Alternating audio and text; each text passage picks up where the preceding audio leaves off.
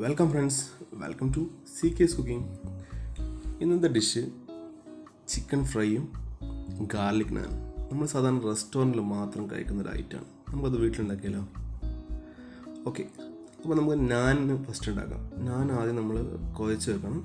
അതിനുവേണ്ടി അര ഗ്ലാസ് വെള്ളത്തിൽ ഒരു സ്പൂൺ ഈസ്റ്റും രണ്ട് സ്പൂൺ പഞ്ചസാരയും ചേർത്ത് നന്നായി ഇളക്കി വെക്കുക. ഇളം ചൂട് വെള്ളത്തിൽ വേണം ഇത് ചെയ്യാൻ.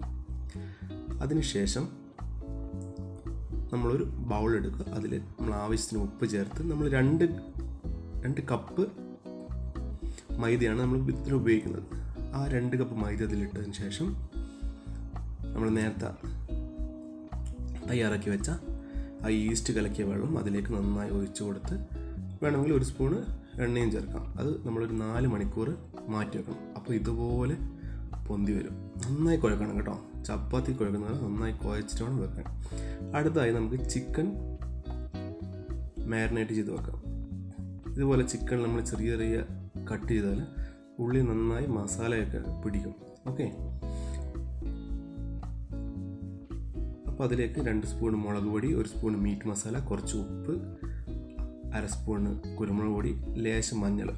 ഇത് നമ്മൾ ഒരു പ്ലേറ്റിലേക്ക് മാറ്റുന്നു. ഒട്ടും നമ്മൾ വെള്ളം ചേർക്കുന്നില്ല.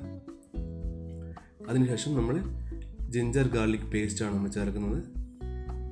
ഒരു രണ്ട് സ്പൂണ് ജിഞ്ചർ ഗാർലിക് പേസ്റ്റ് നമ്മൾ ചേർക്കുന്നു. അതിനുശേഷം നല്ല തൈര് നമ്മൾ മിൽമ തൈരിനെക്കാട്ടി നല്ലത് നമ്മൾ മിൽക്കി മിസ്റ്റിന്റെ തൈരാണ്. വളരെ അടിപൊളി ഒരു തൈരാണിത്. നമ്മൾ ഈ മിൽക്കി മിസ്റ്റിന്റെ തൈര് രണ്ട് സ്പൂണ് ഇതിലേക്ക് ചേർത്ത് നന്നായി ഒന്ന് കുഴച്ചെടുക്കുക. നന്നായി മിക്സ് ചെയ്യുക. വേണമെങ്കിൽ കുറച്ച് ഗരം മസാല പൊടിയും കളർ ഓപ്ഷനാണ് കാശ്മീരി ചില്ലി ഉണ്ടെങ്കിൽ കാശ്മീരി ചില്ലി ഇട്ട് നമുക്ക് നല്ല കളർ കിട്ടുന്നതായിരിക്കും. ഇത് നല്ല നന്നായി ഒന്ന് ചിക്കനൊക്കെ പീസ് നല്ലോണം ഒന്ന് മസാല വരട്ടി ഒരു അരമണിക്കൂർ വെക്കുക.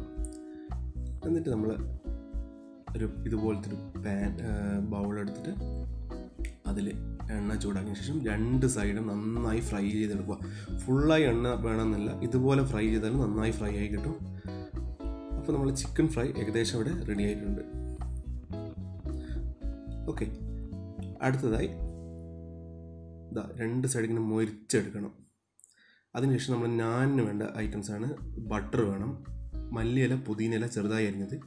ഏറ്റവും പ്രധാനപ്പെട്ടതാണ് ഗാർലിക് ചെറുതായി അരിഞ്ഞത്. പിന്നെ നമ്മൾ ഉപയോഗിക്കുന്നത് ഓണിയൻ സീഡ്സ് എന്ന് പറഞ്ഞിട്ട് നമ്മൾ എള്ള് പോലത്തെ ഒരു സാധനമാണ്. അത് ഓപ്ഷനിലാണ് പക്ഷേ അത് ഇട്ടാൽ നല്ലൊരു ഒരു രസമാണ് കാണാൻ.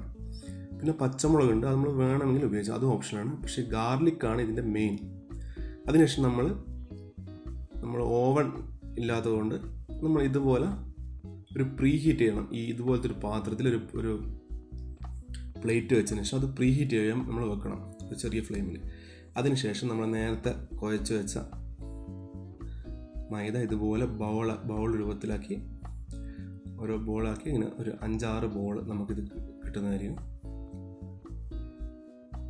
അതിനുശേഷം നമ്മളിത് കുറച്ച് പൊടി ചേർത്ത് അധികം പൊടി ചേർക്കാൻ പാടില്ല കുറച്ച് പൊടി ചേർത്ത് ഇതുപോലെ പരത്തിയെടുക്കുക. ഈ പരത്തിയതിന് ശേഷം നമ്മൾ ഇതിൽ നാന്റെ മെയിൻ ആയിട്ടുള്ളതെന്ന് വെച്ചാൽ നമ്മൾ ബട്ടറാണ് ബട്ടറും ആ ഗാർലിക്കുമാണ് പിന്നെ നമ്മൾ ഇത് ഇതിലാണ്. നമ്മൾ നമ്മളിപ്പം സാധാരണ ആക്കുന്നത് അവർ ഒരു പ്രത്യേകതരം ഒരു അടുപ്പിലാണ് ആക്കുന്നത്. നമുക്കത് നമുക്കിവിടെ വീട്ടിൽ നമുക്ക് പറ്റത്തില്ല. അതുകൊണ്ട് നമ്മൾ ഇതുപോലെ ചെയ്യുന്നു. അതിനുശേഷം നമ്മൾ ബട്ടർ ബട്ടർ തേച്ചതിന് ശേഷം ഇതുപോലെ ചെറിയ ചെറിയ ഗ്രേറ്റ് ചെയ്ത ഗാർലിക് അതിലേക്ക് ഇടുന്നു അതിനുശേഷം മല്ലിയില പുതിനയില പച്ചമുളക് ഇതൊക്കെ പച്ചമുളക് ഓപ്ഷനാണ്. വേണമെങ്കിൽ ഉപയോഗിച്ചാൽ മതി. ഇത് അതിന്റെ പുറത്ത് ഇതുപോലെ ഇട്ടതിന് ശേഷം നന്നായി ഒന്ന് അമർത്തി കൊടുക്കുക. അതിനുശേഷം നമ്മൾ പ്രീ ഹീറ്റ് ചെയ്ത് ആ പാത്രത്തിലേക്ക് വേണം ഇത് നമുക്ക് മാറ്റാം ഇതൊക്കെ നമുക്ക് വീട്ടിൽ ഉണ്ടാക്കാൻ പറ്റാവുന്ന ഒരു ഡിഷസാണ്. നമ്മളൊന്ന് ട്രൈ ചെയ്താൽ മതി. പിന്നെ നേരത്തെ പറഞ്ഞ ഓണിയൻ സീഡ്. ശരിക്കും എള്ള് പോലത്തെ ഒരു ഐറ്റമാണ്. അത് നമ്മൾ ജസ്റ്റ് പത്ത് രൂപ പതിനഞ്ച് രൂപയേ ഉള്ളൂ. നമ്മുടെ സൂപ്പർ മാർക്കറ്റിലൊക്കെ അവൈലബിൾ ആണ്. നമ്മളൊന്ന് വാങ്ങുക. എന്നിട്ട് അതിനുശേഷം അത് ഇതിന്റെ പുറത്ത് ഇതിൽ ഇതുപോലെ ഇട്ട് കൊടുക്കാം ഇതും ആ വെണ്ണയൊക്കെയാണ് നാന്ന ഒരു സ്റ്റൈൽ നാന്ന നമ്മൾ നല്ലൊരു സ്റ്റൈലാക്കി മാറ്റുന്നത്.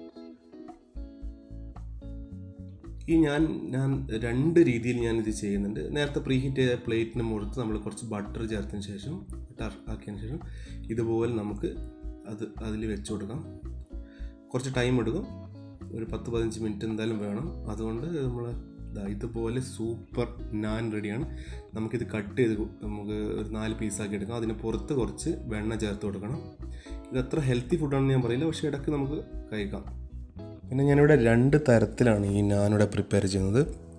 ഒന്ന് നമ്മൾ ബേക്ക് ചെയ്തിട്ടാണ് ഇതുപോലത്തെ ഒരു പാത്രത്തിലാണ് നമ്മൾ ബേക്ക് ചെയ്തിട്ടാണ് ചെയ്യുന്നത്. രണ്ടാമത് നമ്മൾ ചപ്പാത്തി ചുടുന്ന പോലെ നമ്മൾ തവയിൽ വെച്ചിട്ടും ചെയ്യുന്നുണ്ട്. അത് കുറച്ച് ഗ്ലാമർ കുറച്ച് കുറയുന്നു മാത്രമേ ഉള്ളൂ. പക്ഷേങ്കിൽ ടേസ്റ്റിനൊന്നും യാതൊരു വ്യത്യാസമില്ല അതുപോലെ തന്നെ നമ്മൾ രണ്ട് സൈഡും തിരിച്ചു കൊടുക്കണം. ഓക്കെ അപ്പോൾ നമ്മൾ അടിപൊളി ചിക്കൻ ഫ്രൈയും അടിപൊളി ഞാനും റെഡിയാണ് എല്ലാവരും ട്രൈ ചെയ്യണം.